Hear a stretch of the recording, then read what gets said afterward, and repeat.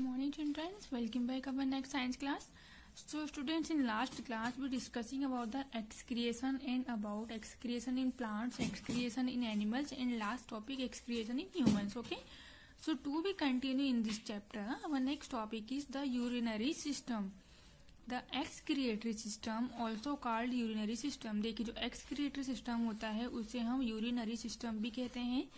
Produce store and eliminates urine जिसके द्वारा क्या होता है? जो वेस्ट प्रोडक्ट होते हैं, वो एलिमिनेट जो होते हैं, वो यूरिन के थ्रू बाहर कर दिए जाते हैं।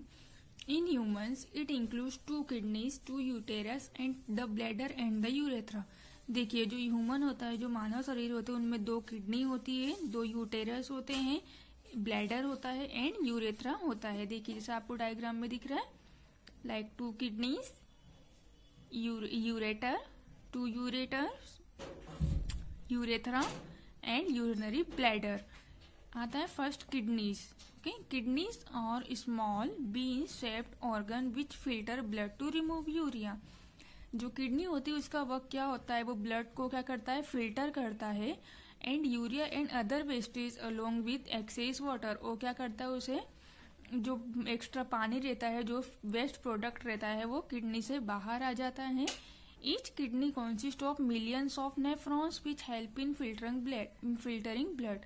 और जो किडनीज होती है, उसमें बहुत सारे नेफ्रॉन्स होते हैं। बहुत ज़्यादा मात्रा में नेफ्रॉन्स का एक नेटवर्क होता है, जो क्या करता है ब्लड को फिल्टरिंग करने में हेल्प करता है। Nephrons are coil tube with a cup shape funnel और जो नेफ्रॉन्स होती है, वो किस प्रकार होती है? वो होती है कॉइल्ड जैसी होती है, ऐसी जैसे लाइक अ कॉइल्ड उस टाइप की होती है। फनल जैसी in which the process of filtration take place जहाँ पर क्या होता है? ब्लड का फिल्ट्रेशन होता है। The nephron are surrounded by a network of capillaries और जो नेट जो नेफ्रॉन्स होती है, उनके आसपास कैपिलरीज ट्यूब्स होती है।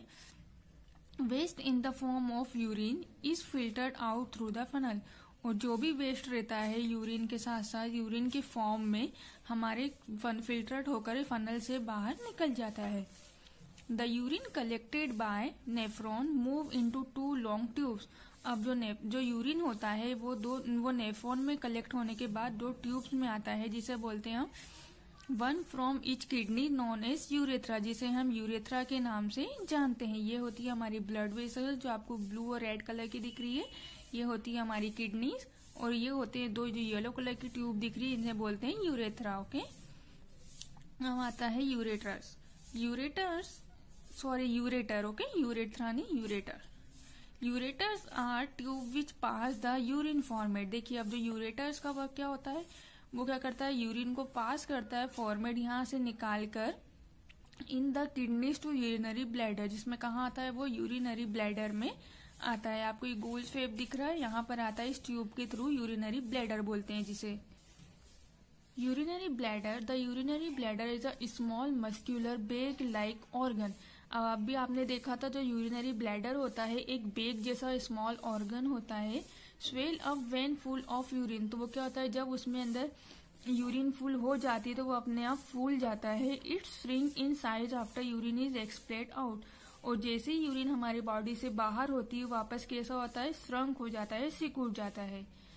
अब आता है urethra urethra is the tube that allow the passage of urine और जो यूरेथ्रा होता है, उसका वक्त क्या होता है? वो यूरिन को पासेज थ्रो करने में हेल्प करता है। A healthy human being passes out 1.5 to 2.5 litre of urine every day और जो ह्यूमन बींग जो ह्यूमन हेल्दी ह्यूमन रहते हैं, जो स्वस्थ मानव रहते हैं, उनमें से 1.5 से 2.5 लीटर तक यूरिन एक दिन में पास करना चाहिए ताकि हमारी किडनी भी हेल्दी रहती है okay okay? Adult human being should drink at least 2 से 2-3 liter of water to keep the concentration of urea in order in the body. और एक स्वस्थ मानव को, एक मतलब मानव को ही दो से तीन लीटर पानी दिन भर में पीना चाहिए ताकि जो उनकी यूरिया वगैरह है बॉडी में ज़्यादा इफ़ेक्ट ना करे और ज़्यादा कुछ किडनी को नुकसान ना हो नेक्स्ट आता है dialysis Due to certain disease, one or both the kidneys are malfunctioning in this. देखिए कुछ कुछ डिज़ीज़ के कारण जैसे एक या दो दो किडनी होती है हमारी बॉडी में तो उसमें से एक या कभी कभी दोनों किडनी क्या होती है? खराब हो जाती है। In this case an artificial system is attach to the body तो उसमें क्या होता है? Artificial kidney artificial system attach कर दिया जाता है हमारी बॉडी से। Of the patient to remove waste and excess water from his her body उसके द्वारा क्या होता है, जो मरीज़ रहता है, जिसकी दोनों या एक किडनी खराब हो जाती है तो वो अपने सारे वेस्ट प्रोडक्ट उस के द्वारा बाहर करता है। This process is called dialysis जिसे बोलते हैं dialysis dialysis work on the principle of selective diffusion molecules across a semi permeable membrane अब जो डायलिसिस होता है, वो किस सिद्धांत पे वर्क करता है? सिलेक्टिव डिफ्यूजन जो जो चुनी हुई मॉलिक्यूल्स रहते हैं, एक रूप वो सेमी परमेबल मेम्ब्रेन के थ्रू बाहर निकल जाते हैं, जिसमें से पूरे मेम्ब्रेन नहीं पूरे कीटाणु नहीं निकलते हैं कुछ कुछ चीज़ें ही उनमें से निकल पाती है just like natural kidneys in this the circulating blood जैसे हमारी नेचुरल किडनी वर्क करती है सेम उसी प्रकार ये डायलिसिस भी वर्क करता है.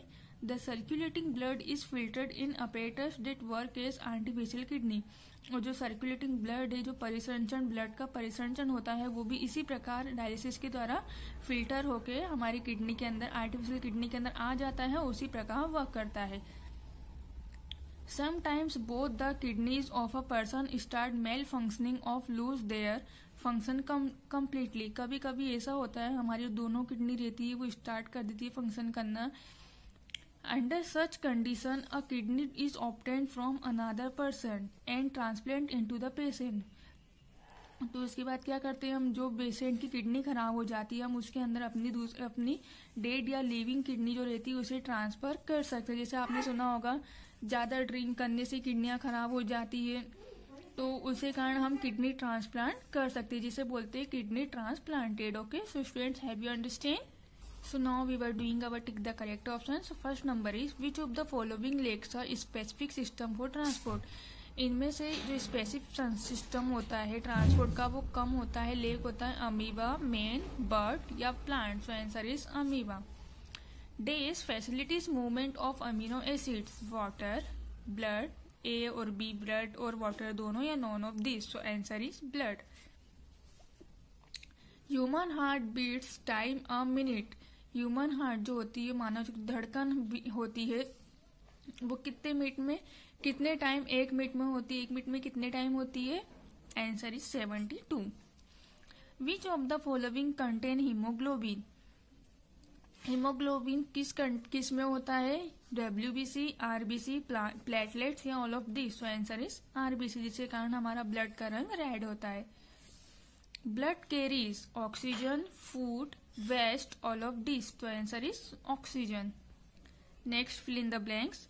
The transport system in plants is called answer is vascular vascular V A S C U L A R vascular osmosis O S O M O SIS. Osmosis is defined as the movement of water molecules from an area of higher concentration to an area of lower concentration across a semi permeable membrane के द्वारा osmosis कर सकते हैं The liquid carrying food to all parts of the plant is known as is answer is transpiration T R N S P I R A T I O N transpiration Blood cells are suspended in a fluid medium called answer is plasma.